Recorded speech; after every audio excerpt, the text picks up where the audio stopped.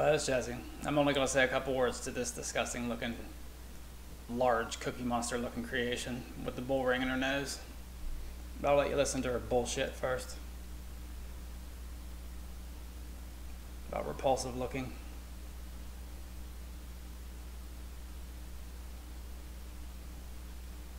So we all see what has happened with this Roe versus Wade situation. We already knew this was how it was going to go down.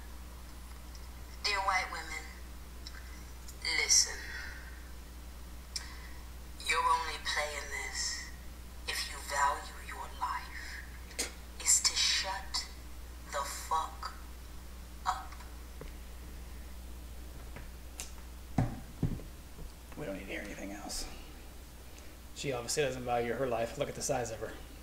So yeah, go fuck yourself, lady.